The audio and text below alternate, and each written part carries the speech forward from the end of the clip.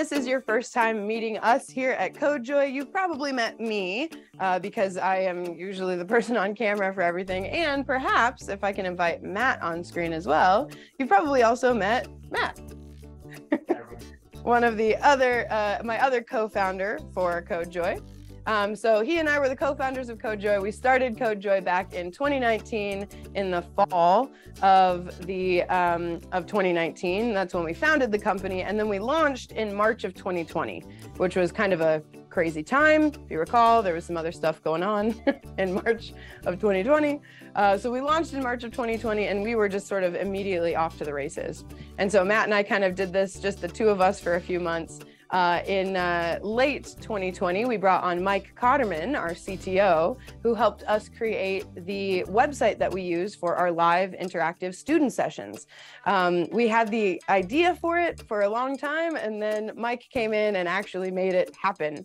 Um, so we'll interview him about that a little bit later. And then in 2022, in May, we brought on our director of operations, Susan Willems, who's here as well. So she's been working with us for a little over a year now. And then just recently in June, we brought on Amanda Jeane to be our director of learning. So we're going to start out with a little interview with Amanda Jeane. So uh, I invite you to come on screen, Amanda Jeane, and let's get to know you a little bit. Right. Hi. Hello, everyone. It is so great to have you all here for Makeathon.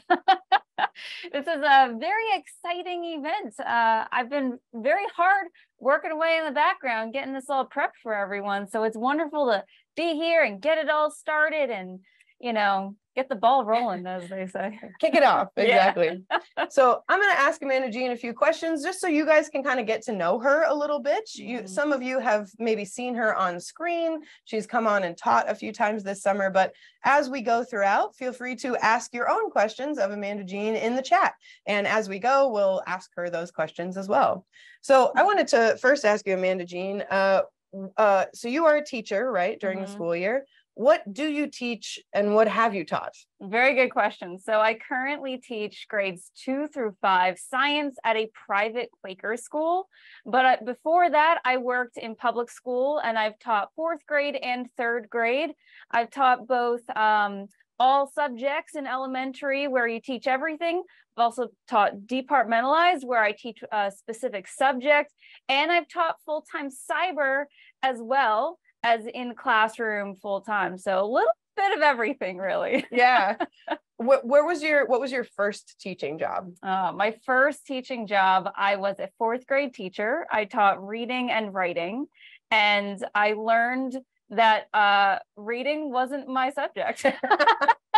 you know, I, I, mean, I loved teaching writing specifically, mm-hmm. but reading really wasn't for me. And mm. then I switched over uh, after that to teach math and science, mm-hmm. which was so much more my thing. It was a, a good uh, match per, per se. So that, that was a good switch. I, I identify with that. My first, uh, I went to school to be a middle school, high school English teacher, mm. got into the classroom and realized, dang, that's really hard yeah. to teach. And I, yeah, I, I found that I was not as good of an English teacher as I was teaching other subjects mm-hmm. like um, science and uh, math and coding. I'm much better at teaching those than I was at teaching English, even though I was always a writing kid. Yeah. What, what were you like more of a language arts kid, more of a science kid? What was your favorite subject in school? I think I thought that I was a, a reading kid, you know, and I, I enjoy reading, mm-hmm. but um, I definitely was uh, someone who struggled with math in school and I always loved science. I actually first went to college to be a doctor and then oh. realized that wasn't going to work out. Yeah, that's, you know, fun facts of the day. Um, I went to college uh, to be a bio major. I wanted to be a doctor and I went to Chem 101 and I sat in the class and I took the syllabus and I listened to the professor and I went back to my dorm room and I dropped Chem 101 and I added intro to ballroom dancing. I love that so that was a, a clear signal that my parents were right. I should be a teacher. I was doing like a little bit of that head butting, like, I'm going to be a doctor. No, I should be a teacher. And then I switched to elementary education and, mm. uh, you know, here we are now teaching mm. teachers and working with kids. excellent. Excellent. So now the the way that you and I met was that when when Matt and I were working at BirdBrain Technologies, you were Mm-hmm. like a star robotics teacher that everybody was already like talking about you and you were so young. Like you were Yeah. like 25, 26. Yeah. And I was like, how can she be a star teacher? She's only been she can't have been doing this for very long. but that's how we when I first encountered you, I already encountered you as like, hey, Amanda Jeane knows what's up when it comes to robotics. So, okay, you were an elementary school teacher. You started out as a reading and writing teacher. Mhm. How did you get into teaching with technology or computer science? Like, what was your Yeah. journey into robotics and computer science in the classroom? Yeah. So I've always been, I could say tech friendly. I've never had a hesitancy towards technology. Mm. Like even as a kid, I was playing with the computer that we had and um, working in the back ends and breaking things and then having to fix them. so I've always liked computers and things like that. But uh, when I was a first year teacher, our district was doing a new technology initiative, and uh, BirdBrain Technologies came to my school, and there was a day long PD, which Katie Henry, which is a good friend of ours who works for the Micro:bit Educational Foundation now, was doing a, a day long PD. And um, I got invited because I was young and willing to say yes to everything as a brand new teacher. And I learned you know, just right off that day, I'd never done robotics before. I'd never done coding. I was a first year teacher from Katie, how to Mhm. do robotics with kids. Mm. And I went to my principal and um, my administrator and said, if you get me this stuff, I'm going to do it. I wa- I was jazzed. It was so cool. I had no idea what I was doing, but I loved it. And uh, I've been using robotics and things ever since. Mhm. And I think when when we first met, which was at some random PD thing at my school district at the yeah, time, yeah. I was only like a second year teacher. I know you were you were still so new at teaching. Oh, excuse me. We'll come back to this camera here. Um, uh, but uh, we you were so new at teaching Yeah. at that point still. And um, I know when I first when I first met you, I was like, oh, she must have been doing this for forever. And then we met, and I was like, you don't look like you could have No. been doing this for forever. But the the hummingbird was also my entry point into robotics as well. I had started trying to teach with Lego robotics Yeah. and my girls were just kind of not into them right and so then the, when we did the the hummingbird that actually was the the entry point for me as well yeah. um so now how many years have you been doing robotics in the classroom That's a great question. I I feel like the answer is eight years Mhm. if I'm thinking through those numbers correctly. So let's go with that. Let's say eight. About eight years Yeah. excellent well i know you you kind of live in the philadelphia area you drove out here to work with us this summer and you're headed back to school uh, this year but to work with us remotely this year so Yes. Uh, I wish you luck in your teaching this this year. You're going to be amazing as always, and we are really excited to have you on our team from now and evermore. We'll never give you up. yeah, I'm really excited to be here. I love working with CodeJoy this summer, and I'm excited about the things to come as through through the school year and beyond. Awesome. Yeah. Thanks, Amanda Jeane. Yeah. all right, see ya. So that's our newest team member, Amanda Jeane. And now we're going to bring on our second newest team member. And by the way, if you guys have any questions um, for Amanda Jeane, let us know in the chat. I'll just check in here too. Uh, Carrie Hutner says, fantastic addition to the team. Love following her on Twitter. Yes, if you guys don't follow Amanda Jeane on Twitter, she's got an active Twitter and she's always posting really exciting stuff on her Twitter. So, Amanda Jeane, feel free to throw your personal Twitter handle in the chat there. Um, but excellent. If you guys have any questions for her, um, uh, let us know. And Carrie, uh, uh, our K8 STEM teacher says, you have an inspiring positive energy, Managing. When tech issues arise, I have trouble maintaining this vibe, but you don't seem to have this issue. Uh, this is a question, uh, Amanda Jeane's gonna go up to the, up to her secondary computer up here, but she's wondering, do you have any tips for the times when and when I and or the students want to throw in the towel. I'll let Amanda Jeane think on that one for a little bit. We'll move on to uh, uh, talking with our director of operations, Susan Willems, and we'll let uh, Amanda Jeane come back to that one in just a little bit. So good morning, Sue. How's it going? We'll let you unmute here. Hi, yes, sorry. I lost my mouse for a second. I know that feeling. And I know it looks like you're in the green stripy studio with us, but you're actually at home, right? yeah, Yes. And my home is in Iowa, so I'm nowhere near the Stripey studio. no, through the through the wonders of virtual background technology, it looks like you're here, but you're actually quite far away.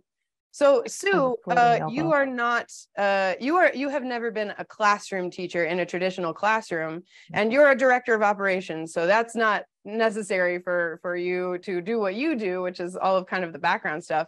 And actually, let's start with that. As our director of operations, what kinds of stuff do you do with CodeJoy? Oh, all kinds of things. It's kind of eh, right now, it's kind of a catch-all. It's whatever is not on screen, uh, except for curriculum building. So it's getting systems set up for attendance.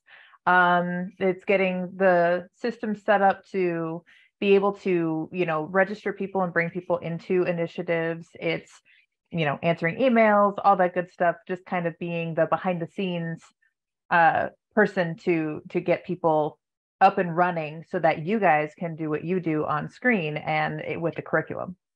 And you do an amazing job of that. Like i i used to be the spreadsheet point person. Turns out i really didn't know what i was doing and you fixed everything and this is just great uh, and i came from a spreadsheet world so. Now so uh so what is your i know you have a, a very sort of diverse work history none of which involves teaching in a traditional classroom, but you have been a teacher, right? What did you teach? Uh, I taught dance. My mom is a uh, was my dance teacher, and she owned her own studio. And uh, Kelsey also went to that dance studio. Did uh, we are cousins, by the way? we are.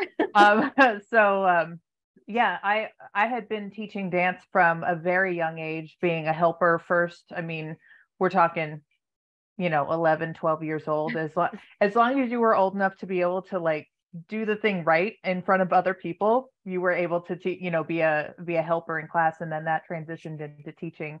And then i went off to college and came back and became a you know whatever a full-time teacher for dances when dance is only in the evening so but yeah, yeah. but yeah, then so- it became dancing choreography and all that stuff. It wasn't just teaching what was already set up in the class. I was creating curriculum and, you know, choreography of my own at that point. Yeah. I, I mean, I, that was w- when I think about teachers, you're actually one of my first teachers because, as Sue mentioned, she's my cousin. She's a few years older than me. And so when I was little, you were a helper in my aunt, your mom's dance studio. Okay. So I knew that you knew about teaching and what it takes to be a teacher because you taught me, which was always great. Um, but that wasn't your profession. What did you go to college for? I went to college for a lot of things, and life life kind of happened along the way. So I originally went uh, for the sciences. I was in uh, I was going to college in all of the chemistry, and I had already taken all the math I needed to be able to get in and out of college without taking a math class. Wow. Before I ever left high school. so I didn't technically need to take a math class while I was there, but it was going to be part of my curriculum. I was planning on being a med, uh, pre med student and whatnot. And uh, life happened. The, and it just didn't work out. I had a, a particular TA that did not speak English, and I could not figure out how to make it work. So yeah that did not work out for me. Um, but then I switched over to psychology. That also mm-hmm. ended up not working out. So psych and soc uh, was going to yeah. be a double major, and I loved it. Except life in that year did not also work out very well.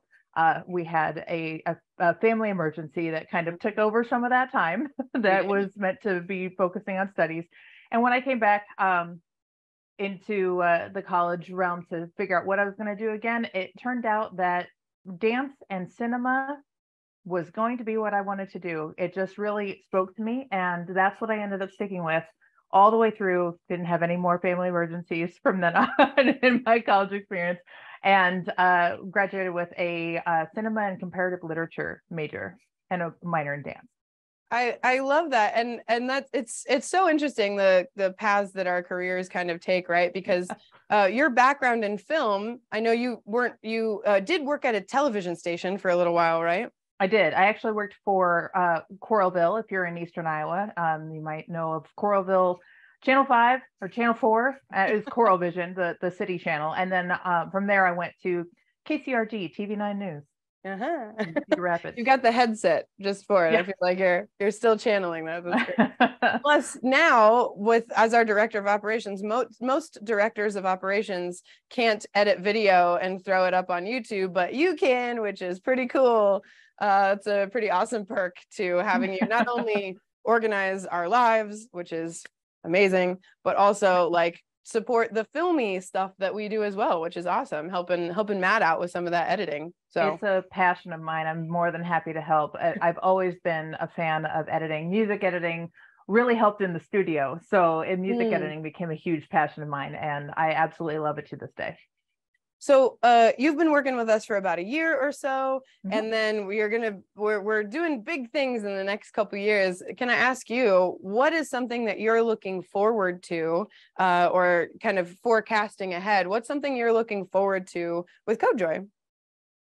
So many things, all of the things. Uh, first of all, I'm very excited for some of the things that CTO Mike Cotterman uh, is Mhm. working on because that will change how I do my job on a fundamental level. And I'm very Mm. excited to see how that works and to kind of streamline a lot of those things so that a lot of it is less manual on my end and more user friendly for the people that I interact with on a daily basis.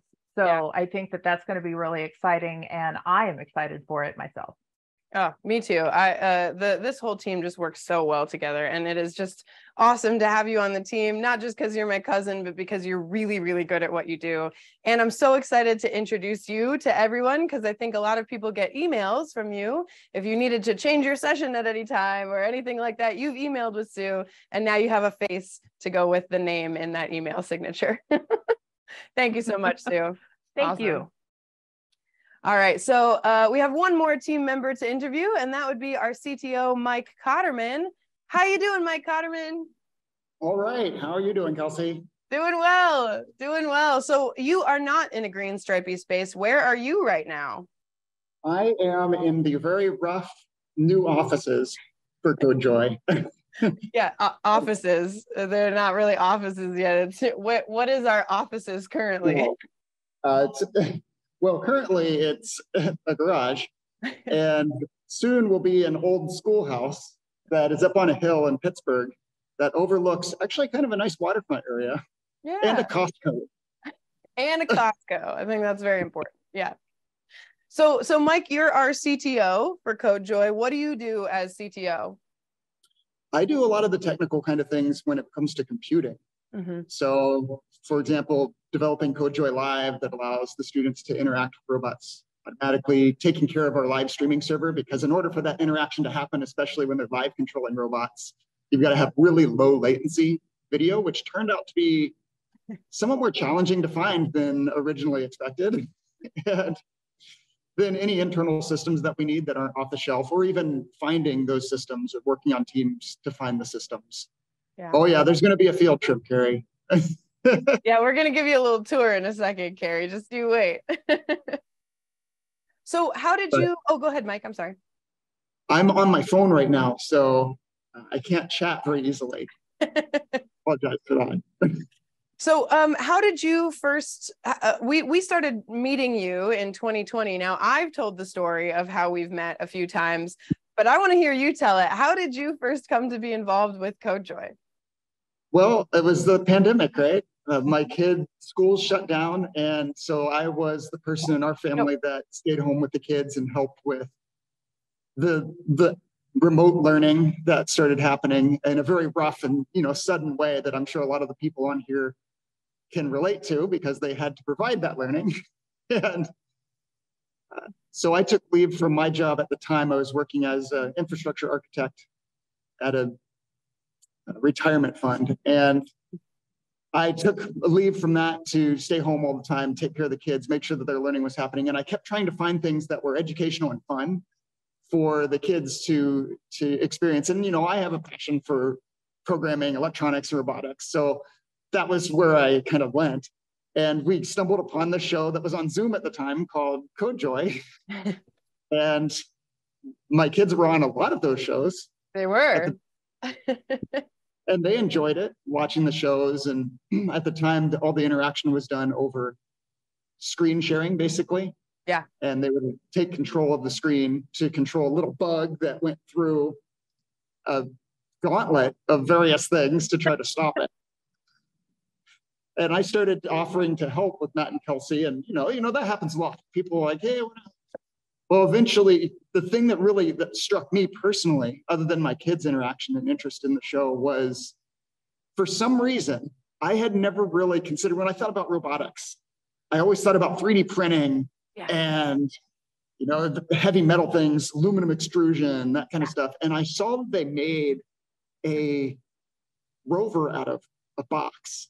And I don't know why that never occurred to me before, but that was kind of a changing moment for me. And I realized that I could make robotics out of cardboard and garbage mm-hmm. too. And it's a lot easier, and the barrier to entry then is a lot lower. So my kids could do it too. And so that's why I started offering to help. And then the microbit as well, because you know, at that point in time, you really didn't have a lot of choices. Arduino was there, and the Arduino IDE is not for the faint of heart. Yeah. and rapid iteration in Arduino IDE is not something you can do because it takes a long time to compile, copy it over to the Arduino. So seeing things like MakeCode and even the JavaScript portion and Python portion of MakeCode at the time were, were game changing for me mm. because you can iterate a lot faster in those mm-hmm. situations. Now I've been programming for a long time, so I didn't necessarily need the block-based portion of it, but my kids did. Mm-hmm. And it gave them the opportunity to, to kind of get in there. In fact, my daughter made a, just two years ago, she made a, an invention for Invention Convention and went to nationals just this last summer with it that was made out of a microbit and some glasses and these cool things called light valves to help kids not get distracted in school. So yeah. her design was so cool. It was it was really fun to watch. You know, when we first met you, you weren't a person. You were a pair of disembodied hands handing children mac and cheese and taking away their bowls. Like, yeah, that's how I first met Mike. Was just a disembodied set of hands and a, and this redheaded kid and this little girl. You know, that was those your two kids. And um, so that that was really fun for us to see you join as a parent to see what coding could be right? Because you you've you've you know the high ceiling of what coding can be um, but then to see this kind of low floor and then to work together to develop this remote robotics website we were very vocal in 2020 we're like we're trying something. It's kind of working but if anybody has any ideas to make this better come talk to us. And you showed up to some of our meetings and you were like hey so you were like asking questions about it and then you and matt would go off and you you guys would work on stuff while i was working on other stuff. You'd come back to the meeting the next week and and one day you just showed up. You know you're you're in ohio or you you normally are you're in pittsburgh right now but you're based in ohio. You showed up one day and you're like i think i think i got it. And i started controlling a robot in your basement and literally i started crying. I was like we did it this thing that we wanted to do we did it and we could not have done that without your know-how. So like i'm just the pandemic did so many bad things but i am so glad that it led to us being introduced because like CodeJoy Live student shows would not exist without your weird creative awesome brain and your kids and all of those things coming together like wouldn't have happened without you. So i'm really grateful for what you bring to our team mike. I appreciate it. I like being on the team yes, and you are full time now as of what? Couple just May. Just May, yeah. You're part time yeah. for a long time, and now you're full time. Woohoo! yeah. Okay. So, um, thank you so much, Mike. Oh, let me ask you actually, what are you looking forward to with CodeJoy over the next year or so? I'm looking forward to some of the interesting things that I'm going to get to build. so, uh, there's a lot of things on the list and it's going to be a lot of work, especially once you see this new studio space, add that into this because I'll also be doing a lot of networking, setting up servers and that kind of thing here. So I'm the IT guy too. yes. Yeah, Matt set up, we're going to give you a little tour of this studio currently. Matt set all this up, but I'm very glad that he's going to have uh, your help to re attach everything because I hmm. don't know how this works. I have a general knowledge, but I really don't understand how our studio works. I leave that up to to the two of you, and I just I'm the person on screen. So awesome. Well, I'm I'm really looking forward to that too, and and we couldn't do it without you, Mike. So I'm really glad you're with us. All right, we're gonna come check back in on you in just a moment here, but let's give a give some snaps for Mike. Woohoo! Give some snaps for Sue. Woohoo! Give some snaps for Amanda Jeane. Woohoo! Um, and uh, if you guys have any questions for those folks, feel free to add those in. And uh, now we're gonna do, we're gonna try our behind the scenes camera again. We tried it earlier, we're just gonna rehook that up. Um, but we're gonna go to our behind the scenes camera. And just in case any of you haven't seen it, show you around our little studio here, because I know it looks like we're in a TV studio and we are, but also this is just a two car garage usually there's a, a motorcycle right there. We, we put it outside for today, but this is just a two car garage here. So we want to kind of show you where we're located now. And then this is a special Makeathon only event because Mike is at the new space, uh, show you where we're going to move into. So we're going to switch to our behind the scenes camera. It might take a moment for it to load. So the screen may go black for a moment, but then it'll come on screen and you guys will get to see where we are now. Okay and then uh, we'll kind of show you how this is set up. Now, this is a, a looks a little bit crazy at the moment because um, we normally, if you've seen some of our shows, this is the side studio over here. So this is an entirely different part of our studio here, but I'm just gonna angle this camera a little differently so you can look around. So take a look at this, everybody. I'm gonna scooch this camera to the side so you can see that over here, we have a workbench right over yonder. Over there in this other corner, we have normally Kelsey's workstation, although right now it's Amanda Jeane's workstation. That's my little desk right there. And then if I continue turning this around, you'll see there's Amanda Jeane. Hi, Amanda Jeane. There's Roseanne. Hi, Roseanne. Black, black dog in a dark room. And here is our other studio. So you can see the, the edge of that green stripy space. Oh, the wire popped out. I'll come back here to the front camera. So as you can see, this space that we're in is fairly small. It's pretty cramped. Our entire business currently operates out of about less than 500 square feet of space. So it's pretty darn small, but let's go to Mike and we'll show you what we're moving into. So feel free to unmute Mike and we're gonna make you full screen so everybody can see. Check this out.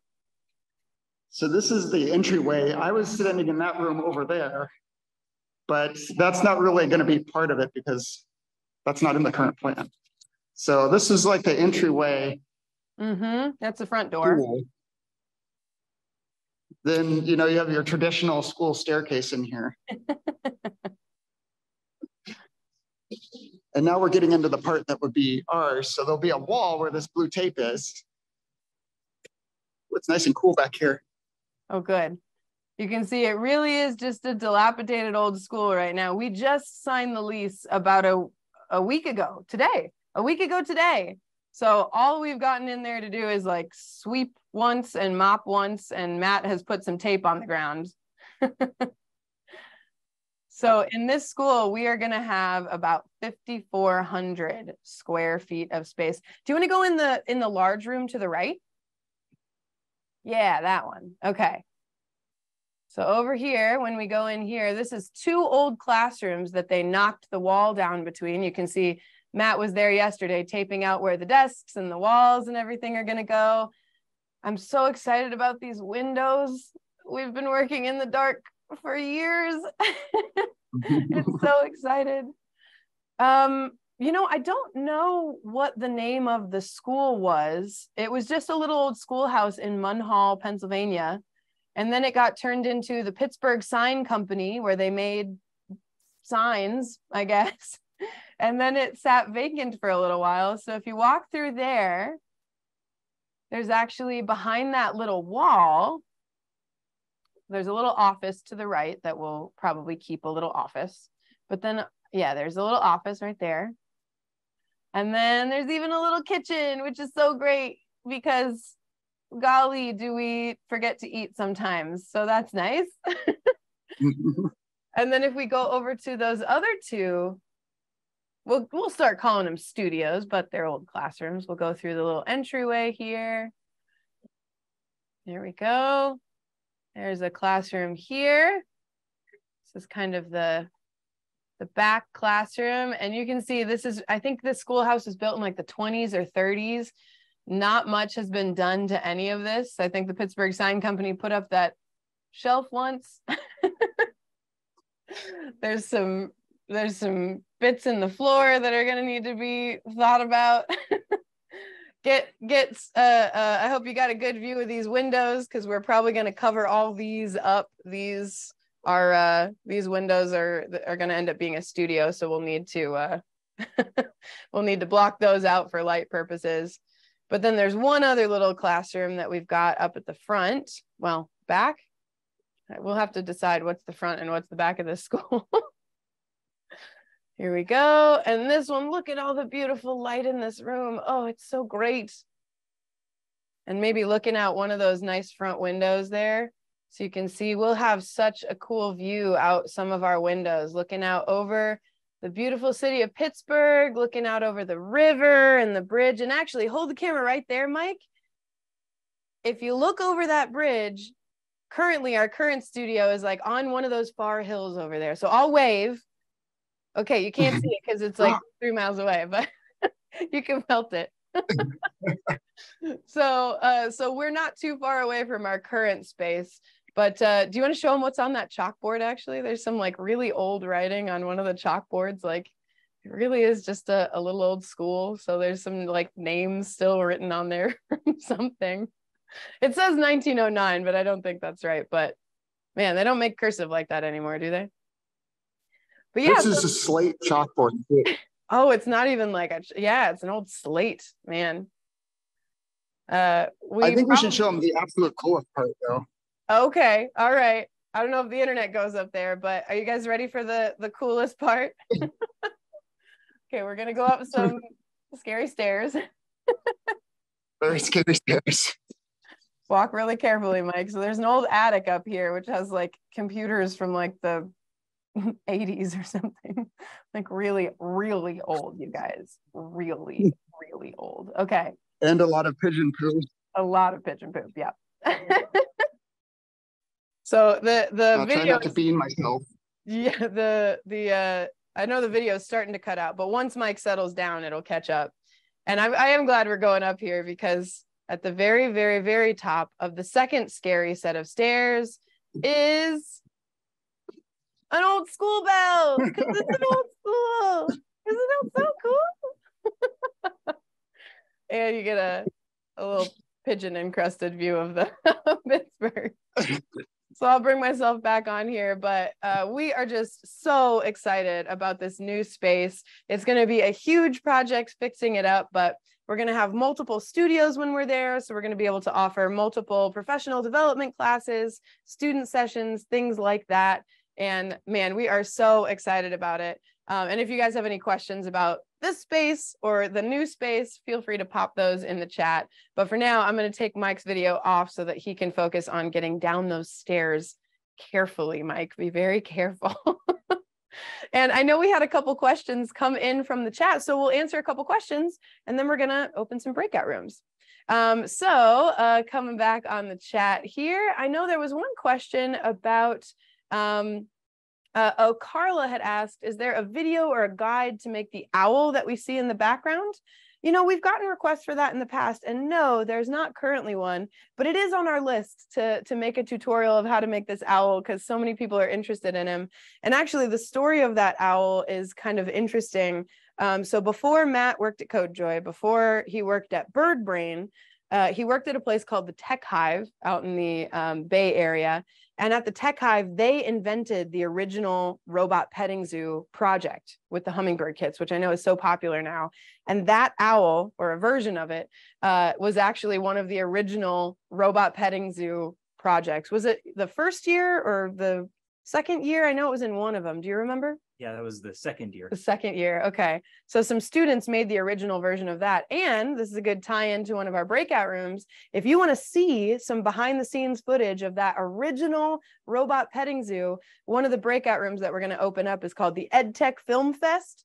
And uh, we're going to be showing some films and uh, things that we found on YouTube that are interesting that you guys might find interesting. So if you want kind of a quiet space to watch some cool footage, uh, one of the films that we're going to be showing in there is the original Robot Petting Zoo behind the scenes footage.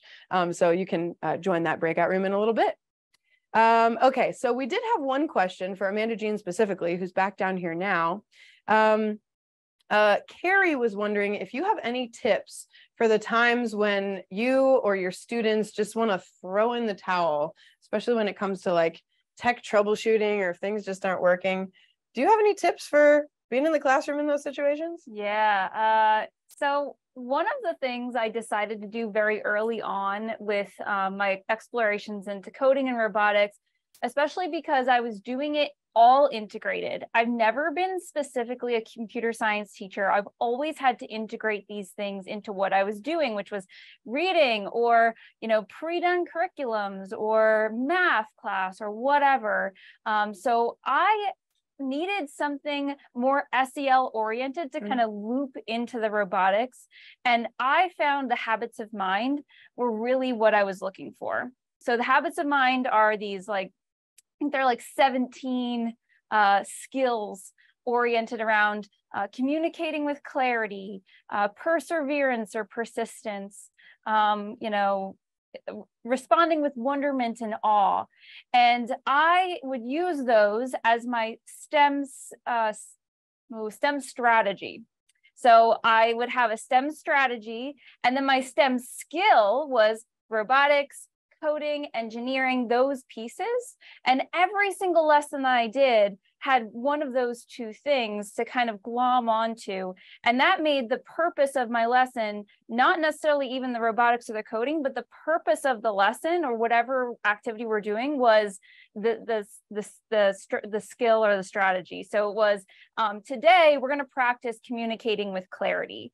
To do that, we're going to be continuing to work on our robotics projects, mm. but we're at the point where you really need to talk to your group members. And mm. if you're not talking to your group members clearly, mm. then you're missing the whole point of the lesson, which is communicating with mm. clarity. That's the focus for today.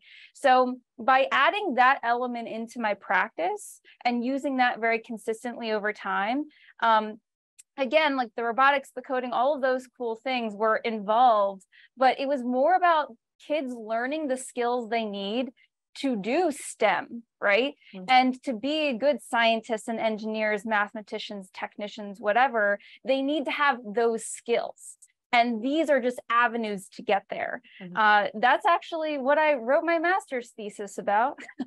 so my whole master's thesis is about like integrating those uh, s- skills into the STEM piece. And STEM isn't necessarily always about science, and mm-hmm. it's not always about engineering. It's about the skills that you need and we help students build to be ready to, you know, go and focus in on those specific subjects. Yeah. So, yeah. I love that too cuz especially with like technology, it's changing so fast. Mm. Like all of the like uh the best Python coder in the world uh can't compete for volume with ChatGPT. Yeah. And like ChatGPT can write you Python things. In fact, Mike uh, and Matt both often use uh, ChatGPT to like start out a Python program and then they'll go back and they'll fix it, right?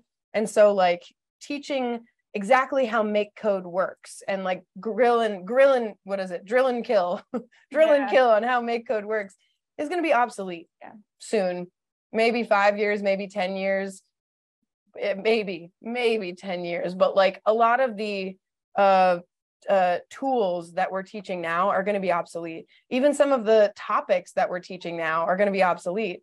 But those habits of mind, those are things that if we can master those or if we can practice those at mm-hmm. least, then that will enable us and our students to continue to grow and learn with a, a world that's changing faster than anyone can keep up with. Absolutely. You know, I love yeah. that as a topic. Yeah.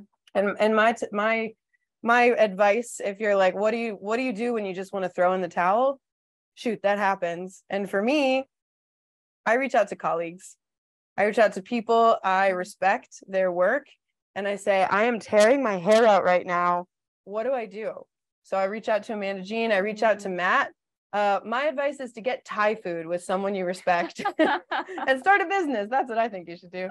But but to to find a colleague, someone you respect, maybe they're in your field, maybe they're not, but uh, find someone that you can talk to about this because teaching surprisingly even though we're in these buildings full of little humans and we're working right next to somebody who's going through a lot of the same stuff as us. Mm. I found for me, teaching was a really isolating job because I had no common plan time with anyone. Yeah. Uh, I was the English teacher, so I taught writing and grammar. And there was an there was a reading teacher, and we had no common plan time. So I was teaching the kids writing, and I didn't know what they were reading. Now that teacher wasn't someone who I personally connected with very much, but the social studies teacher, I did connect with them and so like we'd have lunch together and while a lot of the teachers were like like saying you know oh they were like talking bad about certain things that wasn't my vibe and me and the social studies teacher we got along really well so like finding a colleague who's also trying something new finding somebody else who's pushing themselves to be like yeah me too i totally failed today but here's what i'm going to do tomorrow because when i run out of steam matt has steam and when Matt runs out of steam, I run out of steam. So that's part of why we wanted to bring everyone together for this mm-hmm. Makeathon too, to just help uh, build and support this community of educators. Because maybe your colleague that you turn to isn't even at your school. Maybe your colleague is someone you know, you've only ever met on Zoom. We went into business with Mike. He is a part owner of our company yeah. before we ever met him in person. So find find those colleagues who are trying new things who inspire you to keep going even when you're like today was the worst they can they can help you out yeah there are going to be a lot of opportunities for that in our makeathons mm-hmm. today and in the subsequent makeathons coming up too we have a lot of breakout rooms where you can meet with you know us but also you can meet with each other mm-hmm. and find some of those people i know that a lot of my support system uh, was all of you and uh, you know i didn't always have people in my specific school or in my specific space day to day that were there to support the things that I wanted to do when I was trying. So having a network of people outside of your space, uh, sometimes it's mm. nice to step away and mm-hmm. be like, hey, Pittsburgh friends, or hey, California friends, or yeah. hey, Australia friends. Um, and there's really fantastic networks all around. And you have a great network of people sitting in this room right here with you now. So take advantage of those opportunities we're going to give you to go and talk to as many people as you can uh, so that you can, you know, build that network. Excellent. Thanks, Managing. That's yeah. great.